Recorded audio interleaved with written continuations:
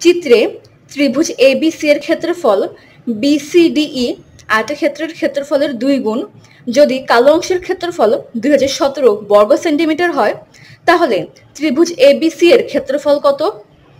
এটি হলো চিত্রের এবিসি ত্রিভুজ এবং বিসিডিই এটি হলো একটি আয়তক্ষেত্র এবং এই দুটি হলো কালো অংশ। যাদের ক্ষেত্রফল বলা আছে দু হাজার সতেরো বর্গ সেন্টিমিটার। এই দুটি অংশের মোট ক্ষেত্রফল বলা আছে দুই হাজার সতেরো বর্গ সেন্টিমিটার। ত্রিভুজের প্রিন্সিপাল অনুযায়ী আমরা জানি, যদি দুইটি ত্রিভুজের ভূমি এবং উচ্চতা একই থাকে, তাহলে ত্রিভুজ দুটির শেপ যাই হোক না কেন, ত্রিভুজ দুটির ক্ষেত্রফল কিন্তু একই হবে।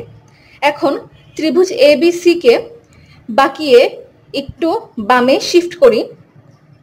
অবশ্যই উচ্চতা একই রেখে বামে শিফট করব এবং এভাবে শিফট করি যেন এবিসি ত্রিভুজের এ বি বাহুটি বি বাহু বরাবর চলে আসে।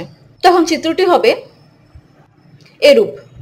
লক্ষ্য করো এই দুটি চিত্রের ত্রিভুজ এবিসি এ ত্রিভুজের উচ্চতা যা ছিল, ত্রিভুজ এবিসি এ ত্রিভুজের উচ্চতা কিন্তু সেম এই দুটি ত্রিভুজের উচ্চতার কোনো চেঞ্জ হয়নি এবং একইভাবে এবিসি ত্রিভুজের ভূমি বিসি এবং এই চিত্রের এ বিসি ত্রিভুজের ভূমি বিসি এই ভূমির দৈর্ঘ্য এবং এই ভূমির দৈর্ঘ্য দুইটার দৈর্ঘ্য কিন্তু একই। অতএব এই চিত্রের ত্রিভুজ এবিসি এবং এই চিত্রের ত্রিভুজ এবিসি দুটি ত্রিভুজের ক্ষেত্রফল কিন্তু সমান। এখন লক্ষ্য করো, এই ত্রিভুজটিকে বামে শিফট করার কারণে এই স্থানে যে কালো অংশটি ছিল, এই অংশটি সম্পূর্ণভাবে এই স্থানে শিফট করেছে। অর্থাৎ এই দুটি কালো অংশের ক্ষেত্রফলের যোগফলের সমান হবে এই সম্পূর্ণ কালো অংশের ক্ষেত্রফল। এখন এই বিন্দুটিকে এম নাম দেই। তাহলে বলা যায়, এই চিত্রের এই দুটি কালো অংশের ক্ষেত্রফলের যোগফলের সমান হবে এই চিত্রের এই সম্পূর্ণ ডিএমসি এই কালো অংশের ক্ষেত্রফলের সমান। তাহলে বলা যায়, বাম চিত্রের এই দুটি কালো অংশের ক্ষেত্রফলের যোগফল হবে ডান চিত্রের ত্রিভুজ ডিএমসি এর, অর্থাৎ এই সম্পূর্ণ কালো অংশের ক্ষেত্রফলের সমান। এখানে শর্ত বলেছিল কালো অংশের ক্ষেত্রফল দু সতেরো। অর্থাৎ এই দুটি কালো অংশের ক্ষেত্রফলের যোগফল ছিল দু সতেরো। এই দুটি অংশের ক্ষেত্রফল যেহেতু এখন এই অংশের সমান, তাহলে অবশ্যই এখন ত্রিভুজ ডিএমসি অর্থাৎ এই সম্পূর্ণ কালো অংশের ক্ষেত্রফল এখন দু বর্গ সেন্টিমিটার। শর্তে বলেছে ত্রিভুজ এ বি সি এর ক্ষেত্রফল হবে আয়তক্ষেত্রের ক্ষেত্রফলের দুই গুণ। অর্থাৎ আয়তক্ষেত্র বি সি ডিই এর দুই গুণ। যে কোনো ত্রিভুজের ক্ষেত্রফল হাফ ইন্টু ভূমি ইন্টু উচ্চতা, অর্থাৎ হাফ ইন্টু ভূমি বিসি এবং উচ্চতা এ বি লক্ষ্য করো, উচ্চতা এবি কেন হবে? কারণ এ বি বাহুটি বিসি বাহুর উপর লম্ব। কারণ শর্ত বলে দিয়েছিল বিসিডিই একটি আয়তক্ষেত্র এবং আয়তক্ষেত্রের প্রতিটি কোণের মান নব্বই ডিগ্রি। তাই অবশ্যই এই কোণের মানও নব্বই ডিগ্রি হবে এবং একইভাবে এই কোণের মানও কিন্তু নব্বই ডিগ্রি হবে। যেহেতু এই কোণের মান নব্বই ডিগ্রি, তাহলে অবশ্যই এই বিবাহ কিন্তু বিসি বাহুর উপর লম্ব। এখন আয়তক্ষেত্রের ক্ষেত্রফল হবে দৈর্ঘ্য গুণ প্রস্থ দৈর্ঘ্য বিসি গুণ প্রস্থ সিডি লক্ষ্য করো। বিসি বিসি কাটাকাটি যায়। দুই পাশে ভাগ, তাহলে পাশে গুণ হয়ে যাবে দুই দুগুণে চার।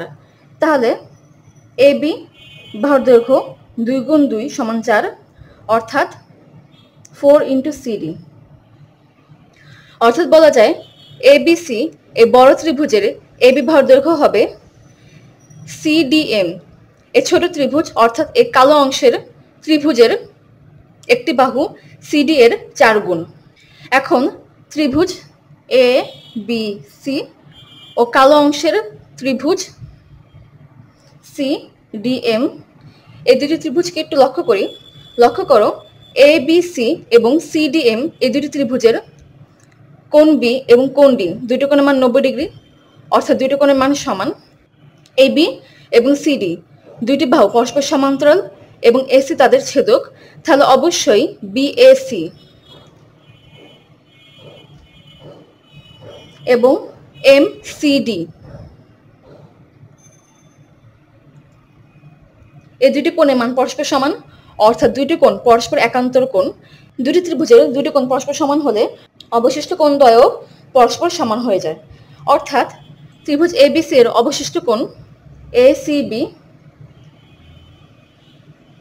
এ কোণ ত্রিভুজ সিডিএম এর অবশিষ্ট কোণ ডিএমসি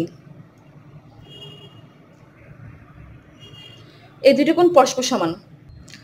অর্থাৎ দেখা যাচ্ছে ত্রিভুজ এবিসি এবং ত্রিভুজ সিডিএম এই দুটি ত্রিভুজের প্রত্যেকটি কোণ পরস্পর সমান। যেহেতু এই দুটি ত্রিভুজের প্রত্যেকটি কোণই পরস্পর সমান, তাহলে অবশ্যই এই দুটি ত্রিভুজ পরস্পর সদৃশ। সদৃশ কোণী ত্রিভুজ দ্বয়ের অনুরূপ বাহুগুলোর অনুপাত পরস্পর সমান থাকে। লক্ষ্য করো এবিসি ত্রিভুজের এবি বাহু সিডি এম ত্রিভুজের সিডি বাহুর চার গুণ। তাহলে অবশ্যই বলা যায় এ বি সি ত্রিভুজের বিসি বাহু সিডি এম ত্রিভুজের ডিএম বাহুর চার গুণ হবে। এখানে লক্ষ্য করো, কীভাবে বুঝব বিসির সাথে ডিএম কে কম্পেয়ার করতে হবে? লক্ষ্য করো বিসি বাহুর বিপরীত কোণ ছিল এক্স এবং এ ত্রিভুজের ডিএম বাহুর বিপরীত কোণ ছিল এক্স অর্থাৎ সমান কোণের বিপরীত বাহু হিসেবে ধরে কনসিডার করতে হবে। এখন ত্রিভুজ সিডিএম এর ক্ষেত্রফল হাফ ইন্টু ভূমি হলো ডিএম এবং উচ্চতা হলো সিডি শর্ত বলেছিল কালো অংশ অর্থাৎ ত্রিভুজ সিডিএম এর ক্ষেত্রফল দুই হাজার সতেরো বর্গ সেন্টিমিটার।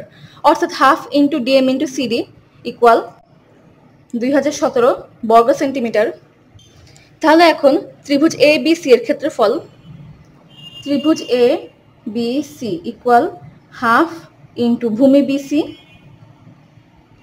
ইন্টু উচ্চতা A B equal half into, লক্ষ্য করো বিসির মান কিন্তু ফোর ইন্টু ডিএম অর্থাৎ four into DM into A B এর মান কিন্তু ফোর ইন্টু সিডি অতএব এ বি এর জায়গা লেখা যায় ফোর ইন্টু সিডি ইকুয়াল চার চারো ষোলো ষোলো গুণ half into DM into CD লক্ষ্য করো, half into DM into CD এর মান দুই হাজার সতেরো। অতএব এই সম্পূর্ণ অংশের মান লেখা যায় দুই হাজার সতেরো, তার সাথে ষোলো গুণ। অর্থাৎ ত্রিভুজ এবিসির ক্ষেত্রফল হলো ষোলো ইন্টু দুই হাজার সতেরো বর্গ centimetre equal three two two seven two centimetre square ঠিক একই প্রশ্নে যদি ত্রিভুজ এবিসির ক্ষেত্রফল আয়তক্ষেত্র বিসিডিই এর ক্ষেত্রফলের দুই গুণ না হয়ে তিন গুণ হতো, তাহলে ঠিক একইভাবে অঙ্কটি করলে এই শর্তের জন্য ত্রিভুজ এ বি সি এর ক্ষেত্রফল আসতো seven two six one two centimetre square.